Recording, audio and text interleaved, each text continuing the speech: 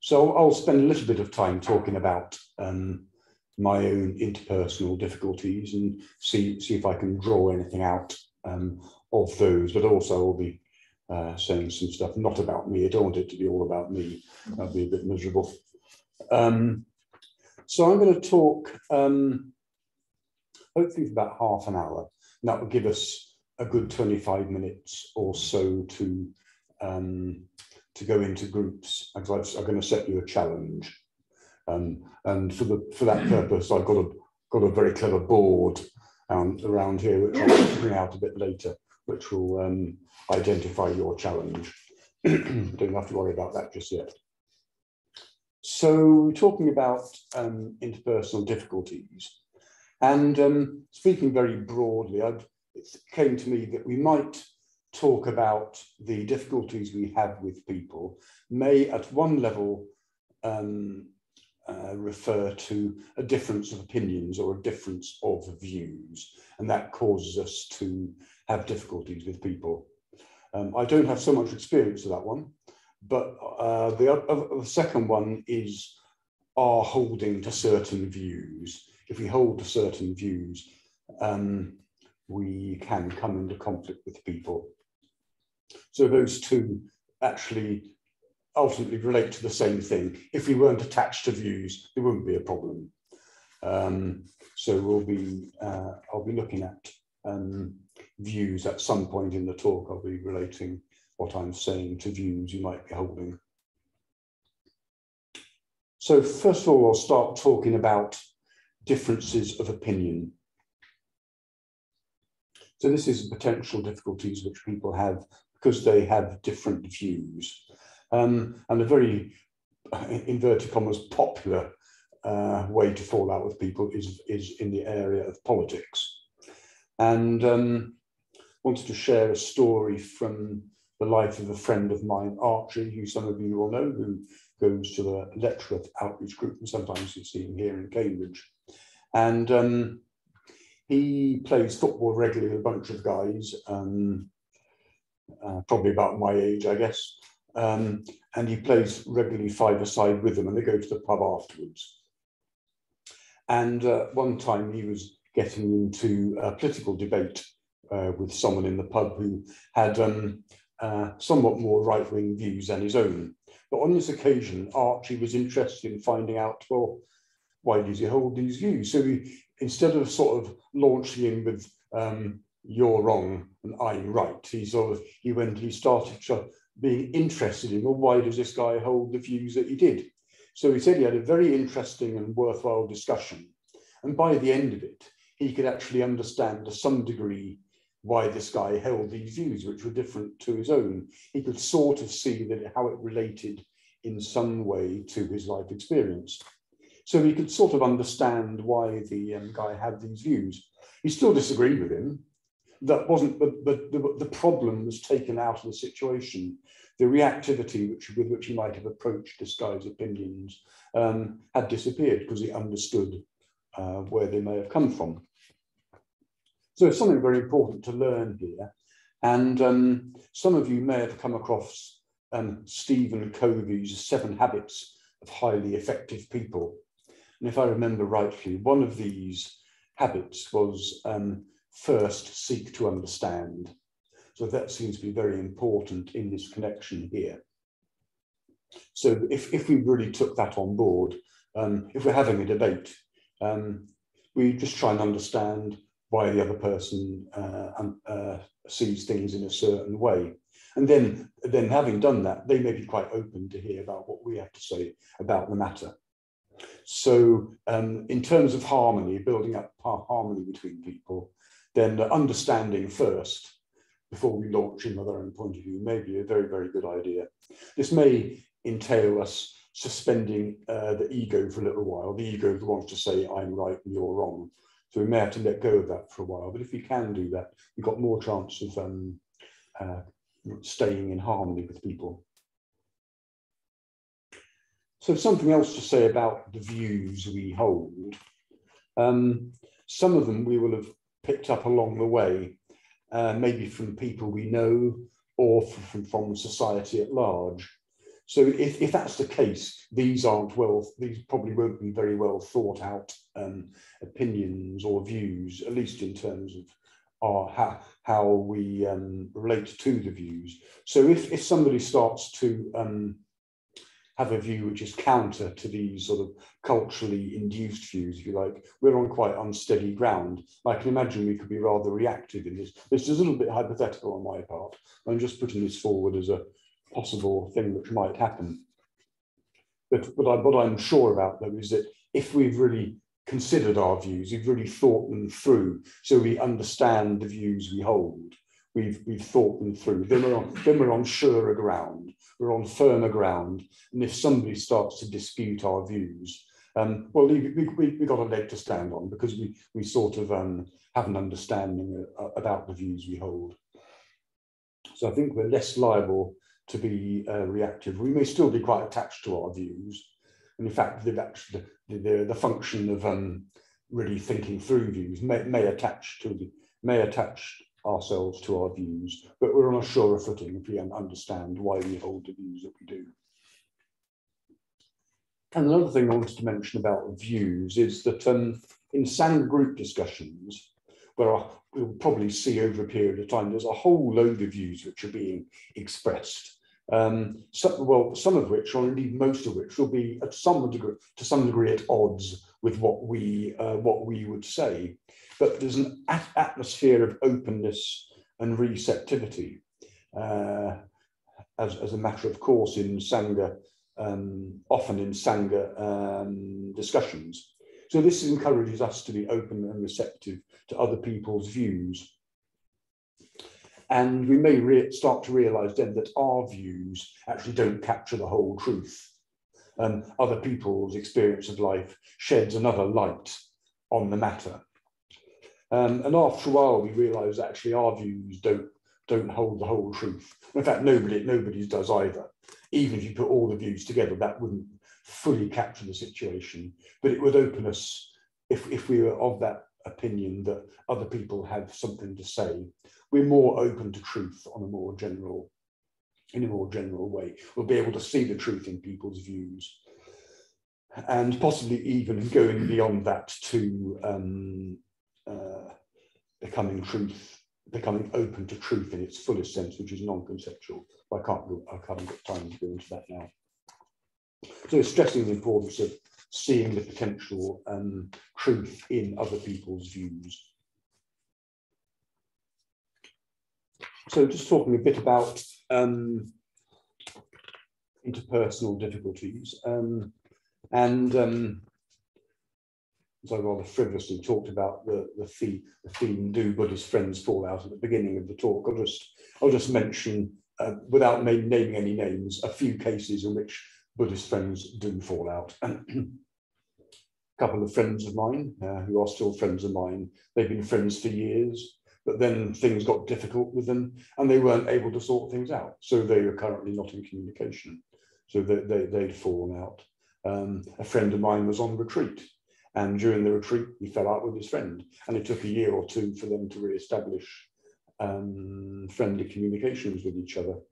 And a Buddhist friend I had for over 10 years, at some point there were unresolved difficulties which we weren't able to resolve and currently they're not in communication.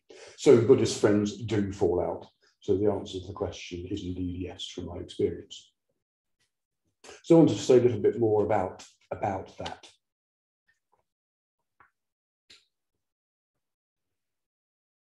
At a very superficial level, we could say, as we, with friends and people who we've got to know, as we spend more time with them, we, we see more of them. We, we get to see, um, see them, what they're like in their fullness. Then we may encounter some difficulties with certain aspects of their behaviour which weren't clear to start off with. But that's sort of more, um, I think that's the more superficial level. But I wanted to suggest um, that spiritual friendship is a deep thing. And if, um, if we continue with that, it will uncover layers of our being and the layers of other people's being, and that may, may lead to some levels of difficulties. It seems we have to um, uh, uncover these layers it's a bit, I'll talk about it a bit later, but it's like we have layers of an onion and we need to strip off some of these layers to actually reach ourselves in our, in our greater depth. And we may actually encounter some difficulties when we do that.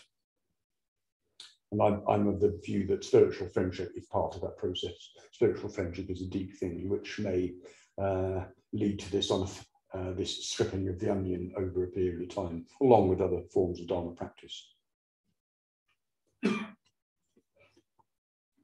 so we might find that as we um, as we sort of uh, unfold, uh, we start to unfold as part of our Dharma practice, um, we encounter what you might call deep wounds or deep stuff. Our conditioning might become more visible, may, may start to manifest in our behavior and how we feel in a, in a somewhat difficult way.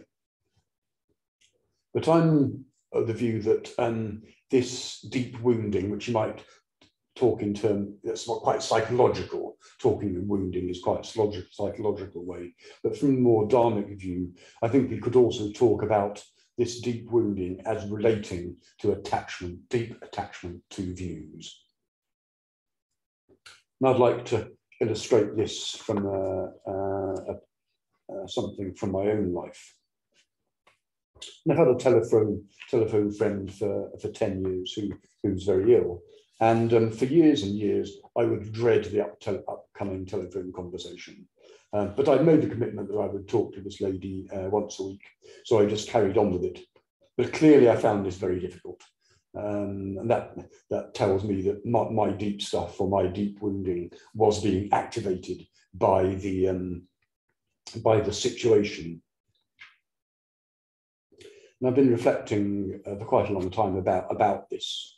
And then there's just actually, I was, as I was uh, preparing this talk, I sort of had a bit of a, a bit of a, a moment of clarity that this kind of deep psychological stuff, which this uh, situation of talking to an ill friend on the phone was was was resurrecting, you could say, realized it actually related to a deep-seated view or assumption. And that deep-seated view or assumption was something like, I don't matter much at all, I am an insignificant person. So what this seems to have made happen is that I made the communication all about her. I was out of the picture, which was quite uncomfortable. because It was a very unbalanced situation. And I've sort of realized that in fact that dynamic personally of uh, having a deep view about I don't really matter that much has infected a number of my relationships over the years. So it does seem to me very strongly that uh, our view our views, our deep-seated views, can really profoundly affect um, our uh, relationship with other people. And in this, in in this case, in an un, unhelpful way. So the next question I wanted, wanted to address is was how how well at least how have I and how might we um, address um, uh, our interpersonal difficulties in a way which will help us to overcome them um, so I just want to mention a few ways in which um, I have consciously and sometimes unconsciously um, helped my uh, uh, difficulties with other people. So I got one friend who um, I had something of a business relationship with. We both own a house and I get the rent. Um, but it, it, seemed to me that uh, that um, whenever whenever we, we were talk, I, I, was talking with my friend, it was going to end up me having to shell out more money for the house. Um, so I was of this view that this is what was going to happen. So I thought, well, okay, I, sort of saw this was going on. We need to spend more time as just friends and not business partners. So it sort of made her a more um, uh, a more full human being by uh, uh, just see, seeing her more more than as a business associate. And that's really helped. I don't really have that difficulty now about expecting to um, shell out money every time I see it. Um, so that was very helpful. Um, there was one person who um, had a bit of a something of a uh, difficulty with. So I, so I just placed him in the Metta Bhavana for about a year. And um, after that period of time, and the difficulties seemed to have been resolved. Had no inclination to put them in the um, anymore. So the ill will, which had been uh, had been uh, sort of had come to the fore, but, but seemed to have been been dropped. So that's a, an advert for the Metta Bhavana can help you with your difficulties with other people. You've probably heard that many times before, but I'll say it again.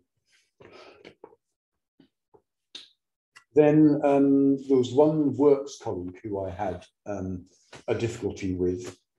And um, this is going back a long, long time, about 18 years. And at the time, nonviolent communication, NVC, was becoming a bit in vogue at the time, which is very useful, um, a very useful thing to learn, or at least at least learn something about.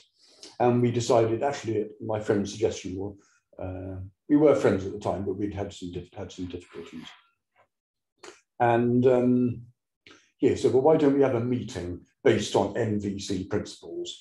So um, that was what we did, and um, we, we, we, we, we were we sort of went by the book and uh, we talked about very specific things. I think he spoke about one particular event.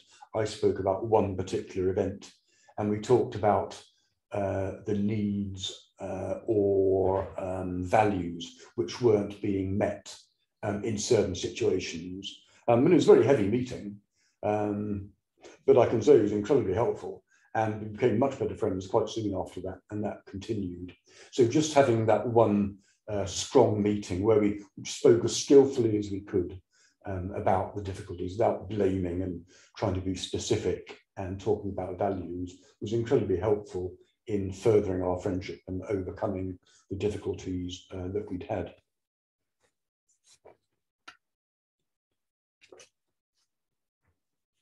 And um, yes, and there's two two other friends who there was sort of a bit of ill will being harboured by me. Um, but over a period of time, that just seemed to dissolve. I guess much Dharma practice was involved there, but I suspect that significantly, having persevered uh, week in, week out to be kindly and loyal and, and helpful as I could, of sticking to those important values, um, probably over a period of time helped to alleviate um, the difficulties which I'd had, which had led to um, ill will. So I could say a bit about um, what kind of perspectives, what way might we way might we think about things which will help us uh, to overcome um, interpersonal difficulties. Do you come in? You're going to.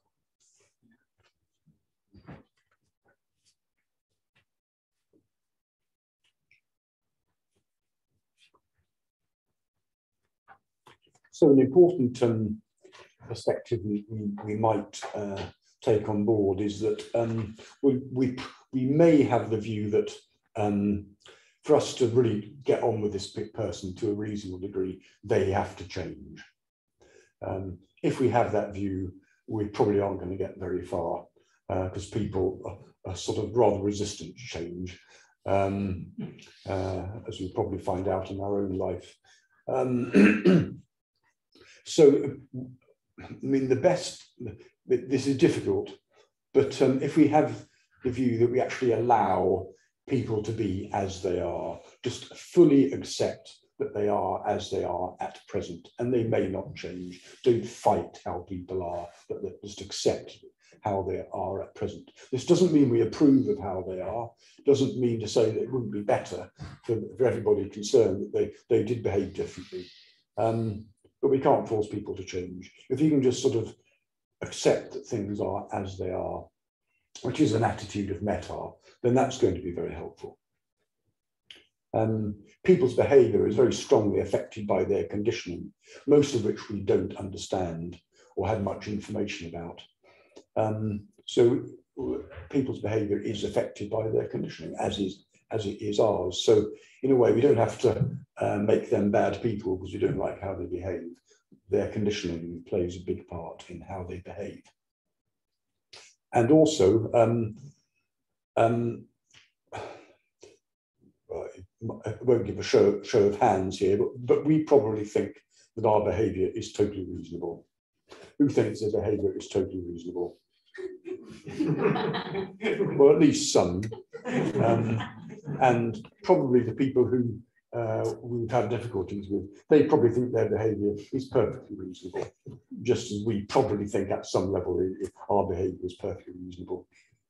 So if we can accept the possibility that other people aren't complete fools, um, then maybe we'll be able to uh, uh, at least somehow take on board their, their, uh, their, their behaviours.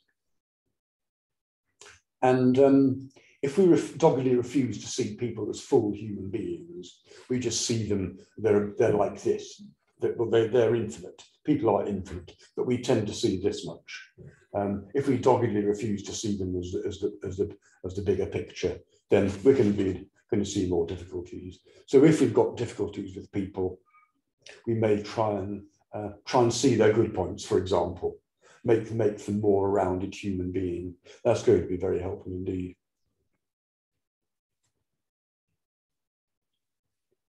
And um, very importantly, uh, in the difficulties we have with people, we bring something to the table.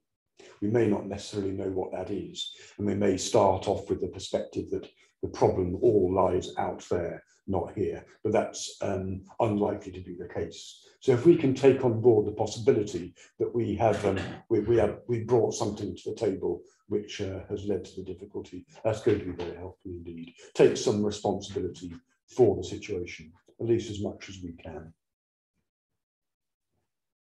Then um, we can talk about our difficulties with, um, with trusted friends.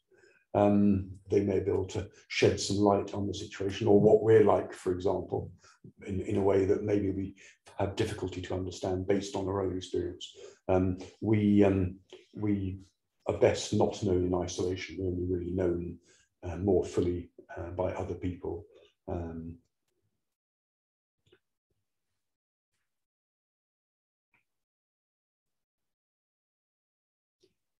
yeah, and if I was to say, what was there one thing which has helped me um, alleviate problems with other people? It's getting to understand that I personally am flawed, and getting to um, to see that um, I have my failings, and if I have my feelings, then it's a bit more acceptable for other people to be flawed as well. So I really recommend uh, getting some clarity about uh, in what in what ways we're, we're not so great.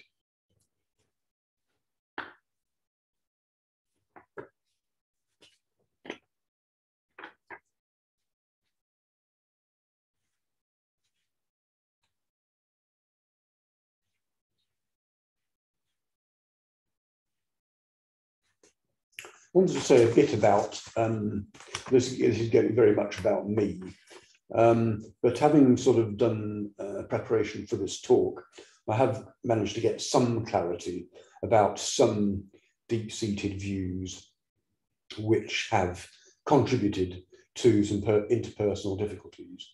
Um, and I mentioned earlier that I'd, I'd uncovered a, a deep-seated view that I'm, I'm, I'm insignificant, which has led to uh, making think other people more important, which hasn't been that great, leading to leading to um, difficulty for myself. But also, I have had some trust issues with other people. And I realise that I, my basic default position is people are untrustworthy. Not a very good one to have, but um, that does seem to be the case. That there's a tendency to see people as untrustworthy unless shown to be otherwise. And here is a bit of an admission. Uh, I appear to have had uh, deep-seated view that I am a superior person. Again, a bit of an admission there.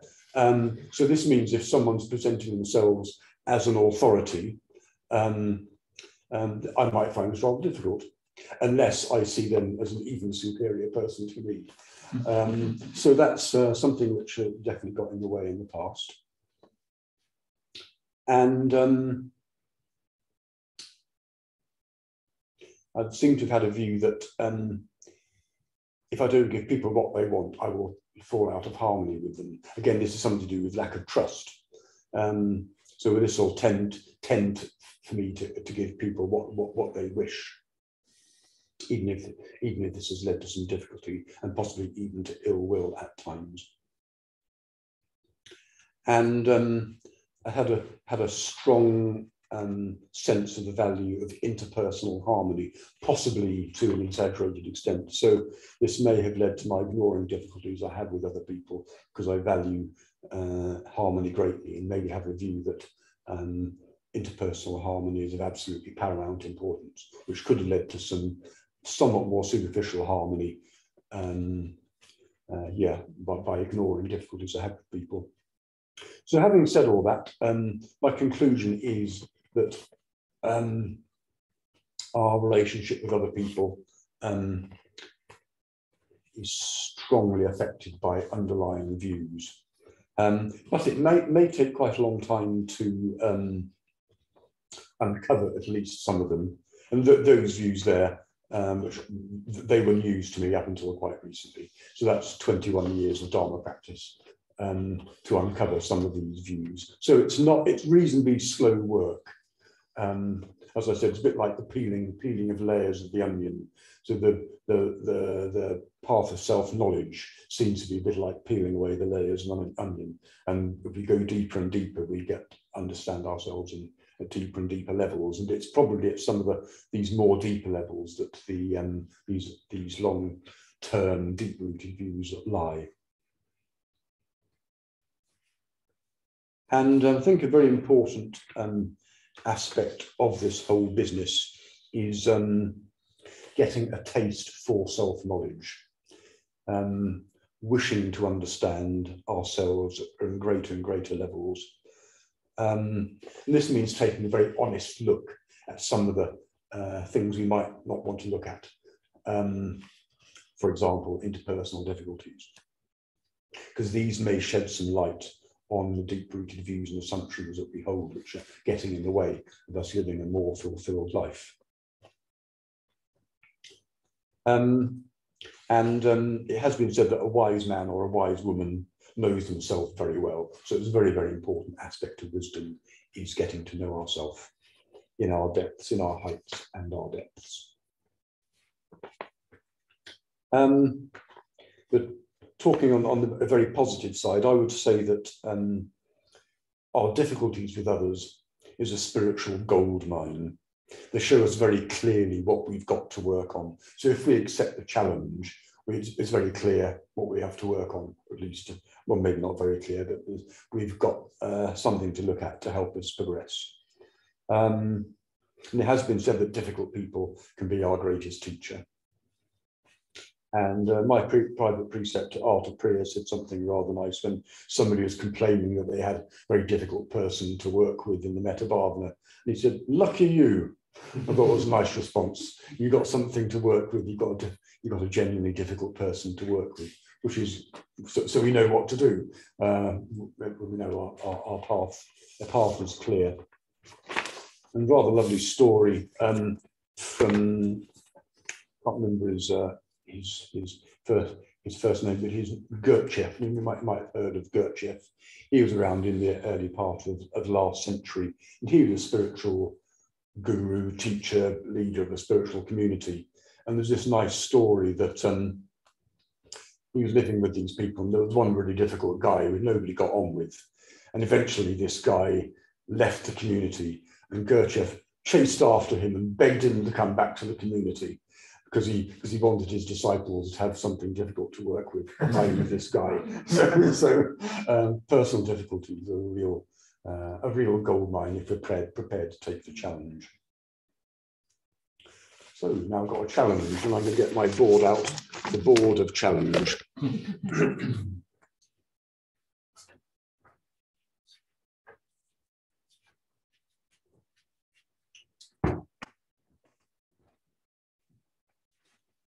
So when we go, when we go into groups, small groups, um, what I'm going to suggest we do is we have a go at talking skillfully about our interpersonal difficulties.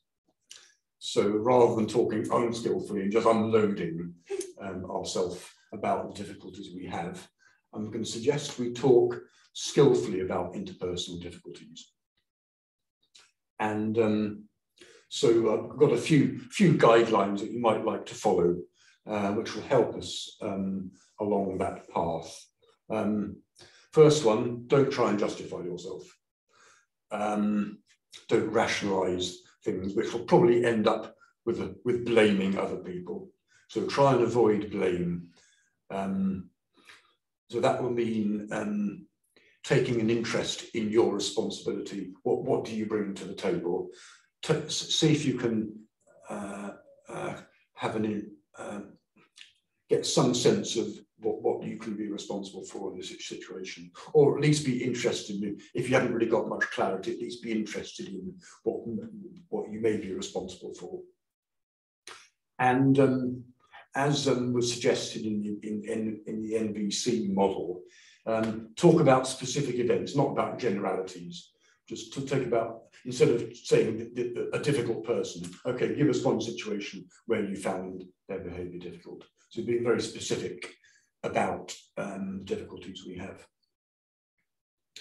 If we got a lot of clarity, we might be able to understand what important values weren't being met by our relationship or these different events with, with, with, with people we find difficult.